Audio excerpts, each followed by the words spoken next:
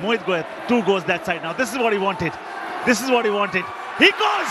Mani has been tackled. He thinks he's got life.